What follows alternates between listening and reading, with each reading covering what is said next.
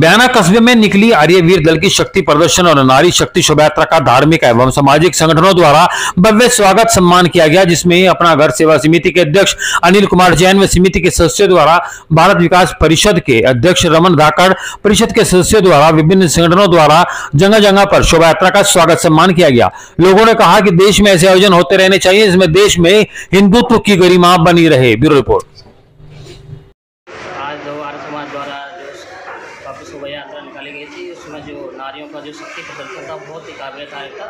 ऐसे ही समारोह, ऐसे यात्राएँ अपने देश में होती रहनी चाहिए, जिससे कि नारी शक्ति को ज़्यादा सफल शक्ति प्रदान हो और उनको अपनी जो शक्ति है, उसका प्रदर्शन करने का मौका मिले। इसी चीज़ के लिए मैं अपने जो आर्य समाज हैं, उनको बहुत बहुत धन्यवाद देता हूँ, जिन्होंने इस तरह की शोभा यात्रा निकाली और ये वाकई में काबिल तारीफ़ थी और ऐसे आयोजन होते रहने चाहिए।